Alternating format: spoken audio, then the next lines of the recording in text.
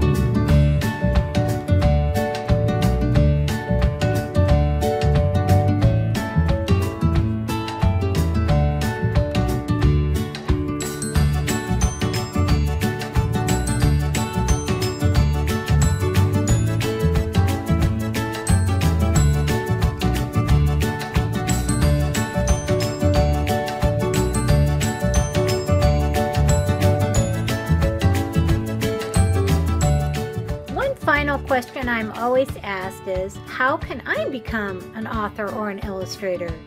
The good news is you are already on your way.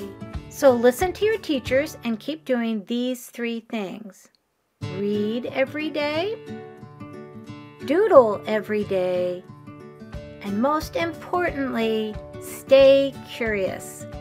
Thanks so much and happy reading!